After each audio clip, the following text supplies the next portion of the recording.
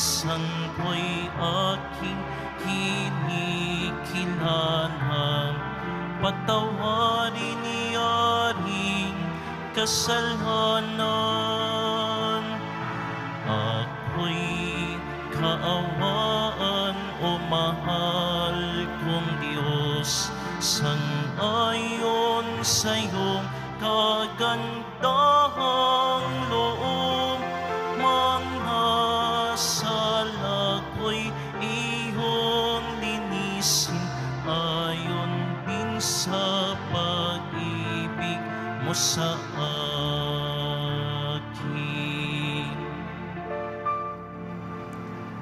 Sa ngala ng Ama at ng Anak at ng Espiritu Santo, Amen. sumainyo ang Panginoon. At sumaiyo rin. Aminin natin ang ating mga kasalanan upang tayo ay maging marapat gumanap sa banal na pagdiriwang. Panginoong Jesus, binigyan mo kami ng bagong buhay. Panginoon, kaawaan mo kami. Panginoon, kaawaan mo kami. Panginoong Jesus, pinapatawad mo ang aming mga kasalanan. Kristo, kaawaan mo kami. Kristo, kaawaan mo kami. Panginoong Jesus, binabakagi mo sa amin ang iyong katawan at dugo sa Eucharistia.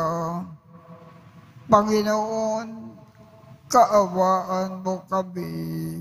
Panginoon, kaawaan mo kami. Kaawaan tayo ng Diyos amang makapangyarihan. Patawarin ang ating mga kasalanan at patnubayan tayo sa buhay na walang hanggan. Amen. Manalangin tayo, Ama naming makapangyarihan, sa iyong pagmamakal na aming maaasahan, nagiging dalisay at matibay ang iyong sambayanan. Hindi ito makaiiraw kapag hindi mo pinatnubayan. Kaya't sa pagsubaybay mo, lagi mo kaming mga sa pamamagitan ni Keso Kristo kasama ng Espiritu Santo magpasawalang hanggan. Amen. Magsiupo na po ang lahat.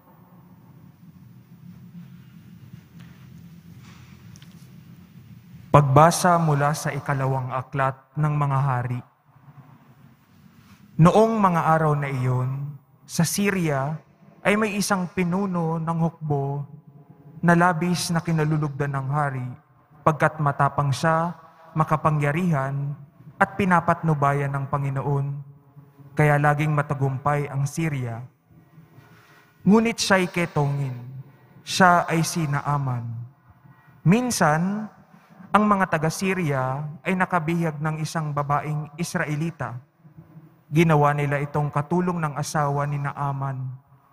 Sinabi nito sa kanyang Panginoon, Kung ang asawa ninyo ay lalapit sa propeta sa Samaria, tsak nagagaling siya. Ang sinabi ng Israelita ay sinabi ng babae kay Naaman.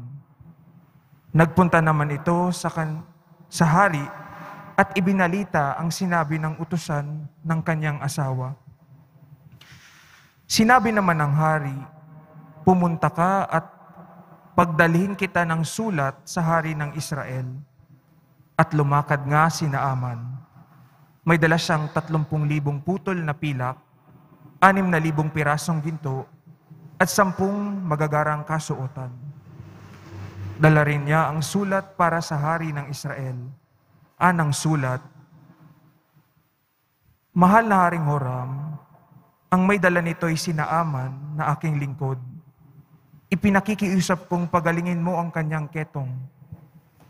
Nang mabasa ito ng hari ng Israel, ginahak niya ang kanyang kasuotan at sinabi, Ako ba'y Diyos na maaring pumatay at bumuhay?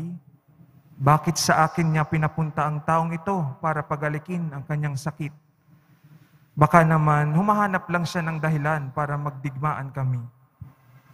Nang mabalitaan ni Eliseo ang ginawa ng hari, ipinasabi niya, Bakit ninyo gagahakin ang inyong kasuotan? Sa akin ninyo sa papuntahin para malaman nilang may isang propeta rito sa Israel.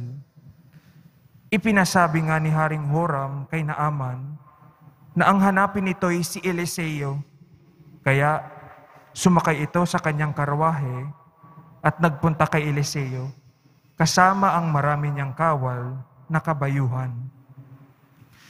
Ipinasabi sa kanya ni Eliseo, Pumunta ka sa ilog Hordan, lumubog ka ng pitong beses at mananauli sa dati ang inyong katawan. Gagaling ang inyong ketong. Nang marinig ang sinabi ni Eliseo, Nagalit si Naaman at padabog na umulis. Sinabi niya, Akala ko pa na may sasalubungin niya ako. Tatayo siya ng tuwid, tatawagan ng Diyos ng Panginoon sa Ilogodran, at itatapat sa akin ang kanyang mga kamay upang ako'y gumaling. Bakit doon pa niya ako pasisisirin? Bakit hindi sa alinman sa mga ilog ng Damasco tulad ng Abana at ng Farfar. Hindi ba't mas malinis iyon kaysa alinmang tubig sa Israel? Siguro na may mas madali akong gagaling kung doon ako maliligo. At galit na galit siyang umalis. Lumapit sa kanya ang kanyang mga katulong at sinabi, Panginoon, hindi ba't gagawin ninyo kahit mahirap pa riyan ang ipagawa sa inyo ng propeta? Gano pa iyang pinaguhugas lang kayo para luminis? Kaya, nang mapag-isip-isip ito ni Naaman, lumusong siya sa ilog ng Hordan at lumubog ng pitong ulit. At tulad ng sinabi ni Eliseo, na nauli sa dati ang kanyang katawan at kuminis ang kanyang balat tulad ng balat ng sanggol. Sinaaman at ang kanyang mga kasama ay nagbalik kay Eliseo. Sinabi niya, Ngayoy napatunayan kong walang ibang Diyos sa ibabaw ng lupa, kundi ang Diyos ng Israel. Ang salita ng Diyos. Salamat sa Diyos. Aking kinasasabikan ang Diyos na nabubuhay. Aking kinasasabikan ang Diyos na nabubuhay. Kung paanong yaong batis ang hanap ng isang usa, gayon hinahanap ang Diyos ng uhaw kong kaluluwa. Aking kinasasabikan ang Diyos na nabubuhay. Nananabik ako sa Diyos, Diyos na buhay walang iba. Kailan kaya maaring sa harap mo ay sumamba? Aking kinasasabikan ang Diyos na nabubuhay. Ang totoo't ang liwanag, buhat sa iyo ay pakamtan, upang sa Siyon ay mabalik, sa bundok mong dakong banal, sa bundok mong pinagpala, at sa templo mong tirahan. Aking kinasasabikan ang Diyos na nabubuhay. Sa dambana mo, O Diyos, ako naman ay dudulog. Yamang galak at ligaya ang sa aki iyong dulot sa saliw ng aking alpay, magpupuri akong lubos.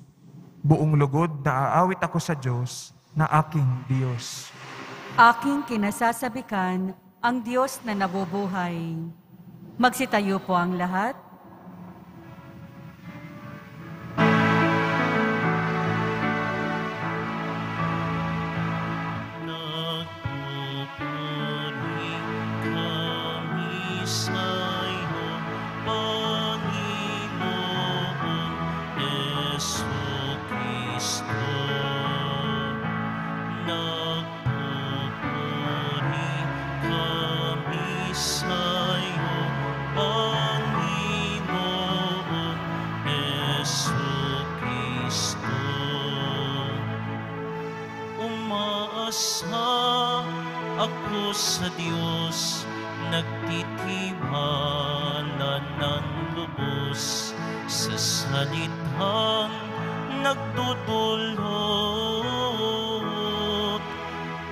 Pag-ibig na mataos upang kamtin ang pagtubos.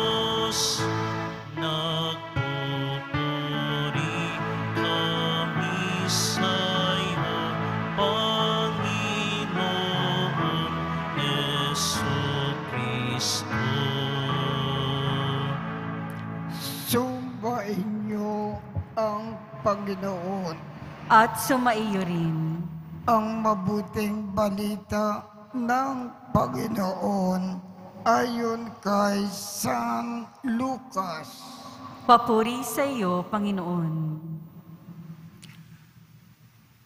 Nang dumating si Jesus sa Nazaret, sinabi niya sa mga nasa sinagoga, Tandaan ninyo, walang propeta na kinikilala sa kanyang sariling bayan.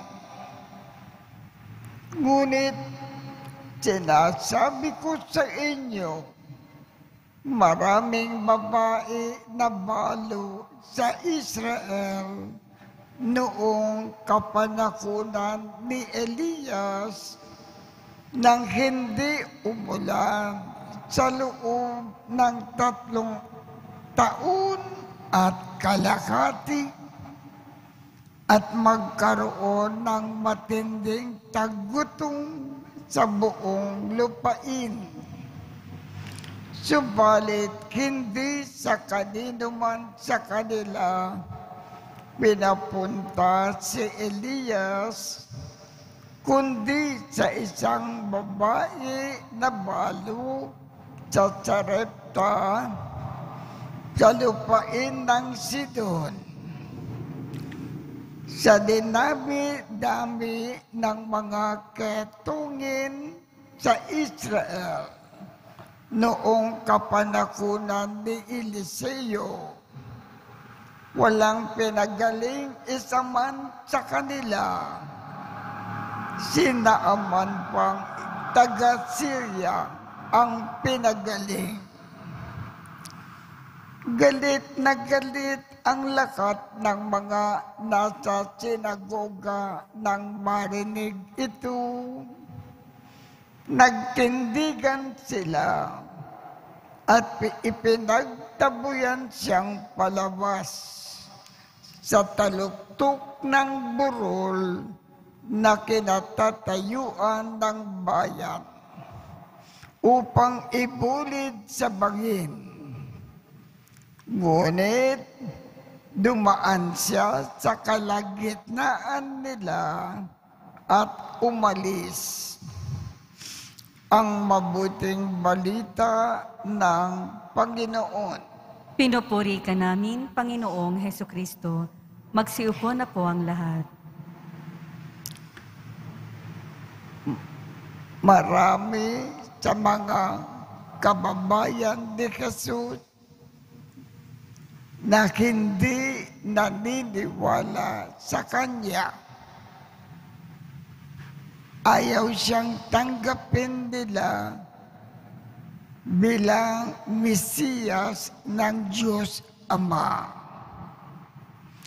At sapagkat ayaw nilang tanggapin si Jesus, ayaw nilang pakinggan ang kanilang mga ang kanyang mga turo, mga pangaral para sa kanilang ikabubuti. Ano kaya ang mangyayari sa mga kababayan ng Panginoon? At sapagkat ayaw nilang pakinggan ang mga aral ng Panginoon, mapapahamak sila sa iba't ibang paraan. Hindi gaganda ang kanilang buhay sa lupa. hindi magiging maayos ang kanilang buhay.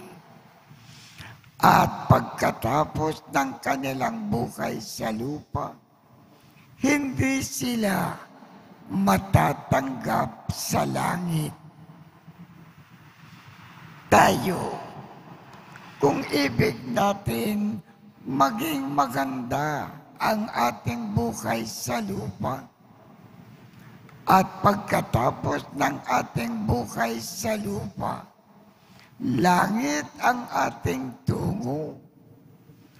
Paniwalaan natin si Jesus na siya ang sugo ng Diyos Ama sa atin. At ang lahat ng kanyang turo, pakinggan natin mabuti at isagawa sa ating buhay.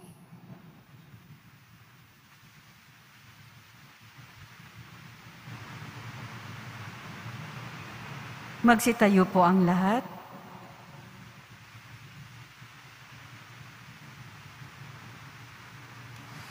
Si Jesus ay hindi tinanggap sa kanyang sariling bayan. May pananampalataya na tinatanggap natin siya bilang ating Panginoon at tagapagligtas at nananalangin tayo sa ngalan niya ang ating tugon, Panginoon, tulungan mo kami na magmahal ng tulad ni Jesus. Panginoon, tulungan mo kami na magmahal ng tulad ni Jesus. Ang mga pinuno ng simbahan naway magpahayag ng salita ng Diyos ng may tapang at isabuhay ito ng may paninindigan, manalangin tayo. Panginoon, tulungan mo kami na magmahal ng tulad ni Jesus. Ang mga magulang na Kristiyano naway maging malakas upang makasunod kay Kristo na siyang daan at ang katotohanan at ang buhay, manalangin tayo. Panginoon, tulungan mo kami na magmahal ng tulad ni Jesus. Ang ating pagpapakasakit ngayong kwaresma, naway gawin nating higit na bukas sa mapagligtas na pag-ibig ng Diyos, manalangin tayo. Panginoon, tulungan mo kaming magmahal ng tulad ni Jesus. Ang mga may sakit na nahihirapan sa kanilang kalagayan, naway makita ang presensya ng Diyos sa kanilang buhay sa pamamagitan ng pangangalaga at malasakit ng kanilang mga pamilya, manalangin tayo. Panginoon, tulungan mo kami na magmahal ng tulad ni Jesus. Ama naming makapangyarihan, sapagkat wala sa amin lumalapit kay Jesus kung walang kung hindi mo kami akayin sa Kanya. Hinihiling namin ito sa pamamagitan ni Kristo na aming Panginoon. Amen. Magsiupo na po ang lahat. Sa'yo,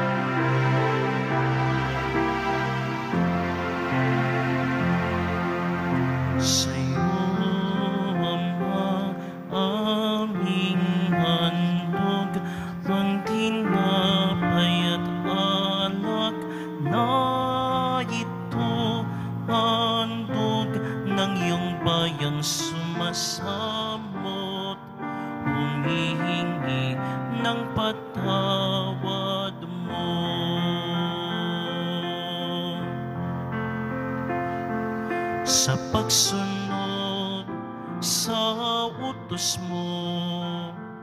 Nalulugod akong labis di masukat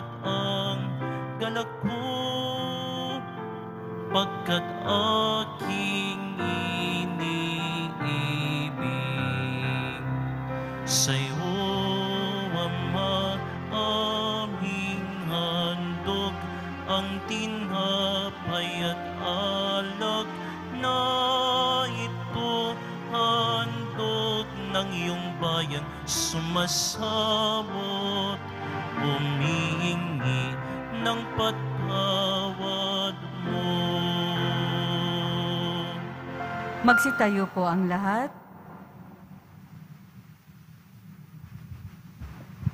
Panalangin kayo upang ang pag-aakin natin ay kalugdan ng Diyos amang makapangyarihan. Tanggapin nawa ng Panginoon itong paghahain sa iyong mga kamay, sa kapurihan niya at karangalan, sa ating kapakinabangan at sa buong sambayanan niyang banal. Ama naming lumikha, ang aming paglilingkod sa pag-aakin ngayon ay lubusin mo sa aming pakikinabang sa dulot mong kaligtasan sa pamamagitan ni Yesu Kristo kasama ng Espiritu Santo magpasawalang hanggan. Amen. Sumainyo ang Panginoon. At sumaiyo rin. Itaas sa Diyos ang inyong puso at diwa. Itinaas na namin sa Panginoon. Pasalamatan natin ang Panginoong ating Diyos. Marapat na siya ay pasalamatan. Ama naming makapangyarihan, tunay ngang marapat na ikaw ay aming pasalamatan sa pamamagitan ni Yesu Kristo na aming Panginoon. Sa magbabakasakali mo na kami ay bubuti, isinugo mo si Yesu Kristo upang pangunahan kami. Bilang pagsunod sa iyong atas na bigay, ipinakayag ng iyong anak ang iyong kalooban na ang mga api at dukha ay kanyang damayan. Ngayon ay iyong inikakandog ang pagkakataon na aming maisaloob ang kanyang ganap at kusang paglilingkod upang sa iyo ay lagi kaming makasunod.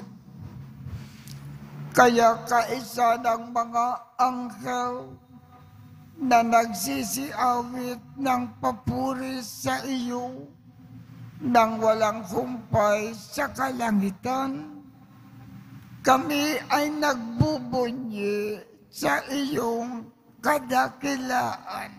Santo, Santo, Santo, Panginoong Diyos ng mga hukbo, napupuno ang langit at lupa ng kadakilaan mo, o sana sa kaitaasan. Pinagpala ang naparirito sa ngalan ng Panginoon, o sana sa kaitaasan. Magsiluhod po ang lahat. Ama naming banal, ikaw ang bukal ng tanang kabanalan. Kaya sa pamamagitan ng iyong Espiritu, gawin mong banal ang mga kaloob na ito upang para sa amin ay maging katawan at dugo ng aming Panginoong Yesu Kristo. Bago niya pinagtiisang kusang loob na maging handog, hinawakan niya ang tinapay. Pinasalamatan kanya Pinaghati-hati niya iyon. Iniabot sa kanyang mga alagad at sinabi, Tanggapin ninyong lakat ito at kanin. Ito ang aking katawan na ikakando para sa inyo.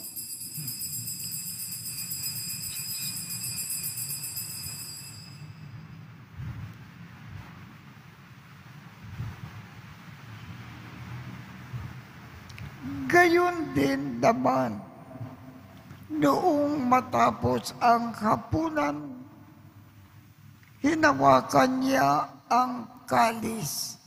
Muli kanyang pinasalamatan.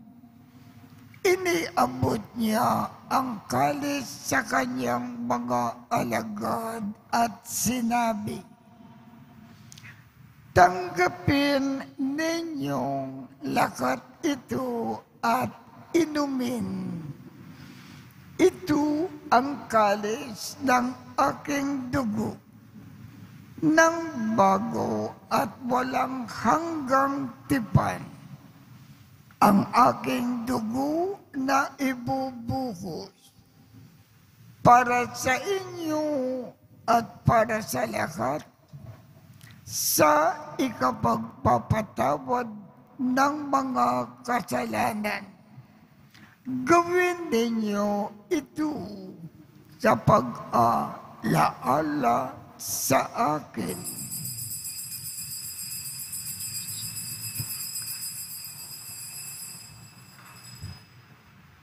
Magsitayo po ang lahat. Ipagbunyi natin ang misteryo ng pananampalataya. Si Kristo'y namatay, si Kristo'y nabuhay, si Kristo'y babalik sa wakas ng panahon. Ama, ginagawa namin ngayon ang pag-alala sa pagkamatay at muling pagkabuhay ng iyong anak. Kaya't iniaalay namin sa iyo ang tinapay na nagbibigay buhay at ang kalis na nagkakaloob ng kaligtasan. Kami ay nagpapasalamat dahil kami ay iyong minarapat na tumayo sa harap mo para maglingkod sa iyo. Isinasamo namin kaming magsasalo-salo sa katawan at dugo ni Kristo ay mabuklod sa pagkakaisa sa pamamagitan ng Espiritu Santo. Ama, lingapin mo ang iyong simbakang laganap sa buong daigdig. Puspusin mo kami sa pag-ibig. Kaisa ni Francisco, aming Papa, Jose, aming Obispo, at ng Tanang Kaparian. Alalakanin mo rin ang mga kapatid naming nakimlay nang may pag-asa na sila ay muling mabubuhay. Gayon din ang lakat ng mga pumanaw. Kaawaan mo sila at patuloyin sa iyong kaliwanagan. Kaawaan mo at pagindapatin kaming lahat na makasalo sa iyong buhay na walang wakas. Kaisa ng makal na Birgen Maria na ina ng Diyos. Nang kabiyak ng puso niyang si San Jose. Kaisa ng mga apostol at ng lahat ng mga banal na namukay dito sa daigdig ng kalugod-lugod sa iyo. Maipagdiwang nawa namin ang pagpupuri sa ikararangal mo sa pamamagitan ng iyong anak na aming Panginoong Keso Kristo. Sa pamamagitan ni Kristo, kasama niya at sa Kanya, ang lakat ng parangal at papuri ay sa iyo, Diyos amang makapangyarihan kasama ng Espiritu Santo, magpasawalang hanggan. Amen. Sa tagubilin ng mga nakagagaling na utos at turo ni Jesus na Panginoon natin at Diyos, ipakayag natin ng lakas loob. Ama namin, sumasalangit ka, sambakin ang ngalan mo, mapasa amin ang kakarian mo, sundin ang loob mo, dito sa lupa para ng sa langit. Bigyan mo kami ngayon ng aming kakanin sa araw-araw at patawarin mo kami sa aming mga sala para ng pagpapatawad namin sa mga nagkakasala sa amin. At huwag mo kaming ipagintulot sa tukso at iadya mo kami sa lakat ng masama. Hinihiling namin, Ama, iadya mo kami sa lakat ng masama. Pagkalooban kami ng kapayapaan sa araw-araw, iligtas sa kasalanan at ilayo sa lahat ng kapakamakan. Samantalang aming pinananabikan ang dakilang araw ng pagpapakayag ng tagapagligtas naming si Jesu Kristo. Sapagkat iyo ang kaharian at ang kapangyarihan at ang kapurihan magpakailanman. Amen. Panginoong Keso Kristo, sinabi mo sa iyong mga apostol, kapayapaan ang iniiwan ko sa inyo. Ang aking kapayapaan ang ibinibigay ko sa inyo. Tungkayan mo ang aming pananampalataya at huwag ang aming mga pagkakasala. Pagkalooban mo kami ng kapayapaan at pagkakaisa ayon sa iyong kalooban kasama ng Espiritu Santo magpasawalang hanggan Amen. ang kapayapaan ng Panginoon ay laging sumainyo. At sumaiyo rin. Magbigayan tayo ng kapayapaan sa isa't isa.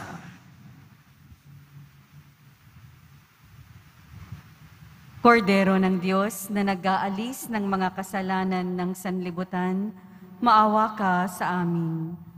Kordero ng Diyos na nag-aalis ng mga kasalanan ng sanlibutan, maawa ka sa amin. Kordero ng Diyos na nag-aalis ng mga kasalanan ng sanlibutan, ipagkaloob mo sa amin ang kapayapaan. Magsiluhod po ang lahat. Ito ang kordero ng Diyos. Ito ang nag-aalis ng mga kasalanan ng sanlibutan. Mapalat ang mga inaanyayahan sa kanyang piging. Panginoon, hindi ako karapat-dapat na magpatuloy sa iyo, ngunit sa isang salita mo lamang ay gagaling na ako.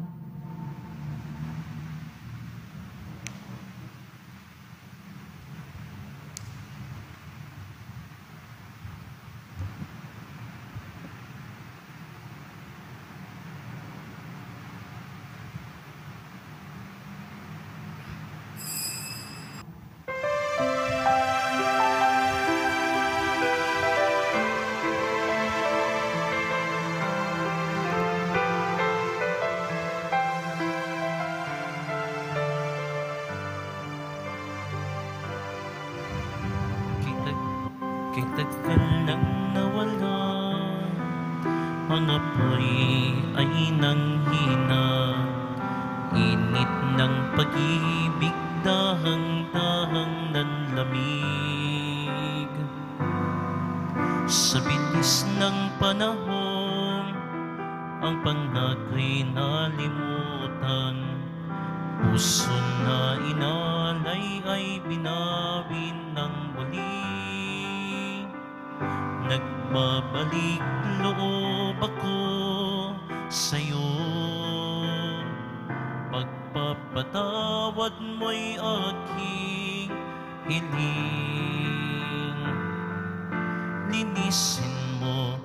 ugasan mo, palitan ang aking puso.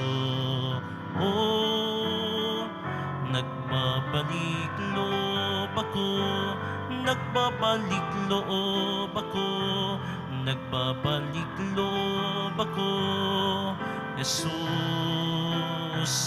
nagbabalik loob ako sa'yo.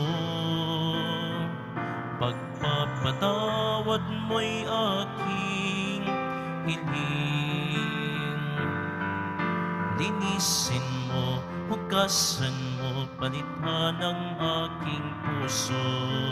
Oh, nagbabalik loob ako Nagbabalik loob ako Nagbabalik loob ako.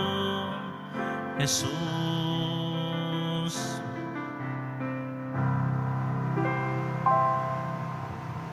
Magsitayo po ang lahat.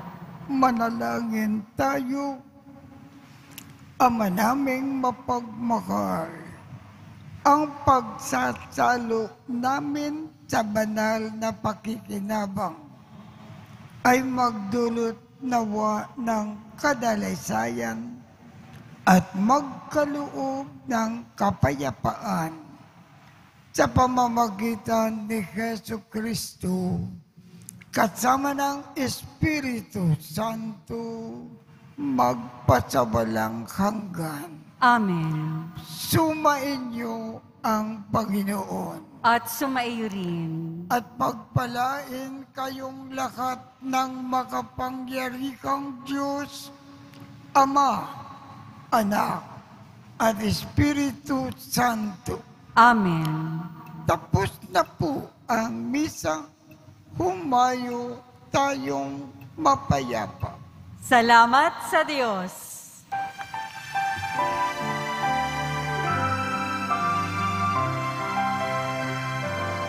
Nuestro Padre Jesús Nazareno, sinasamba ka namin.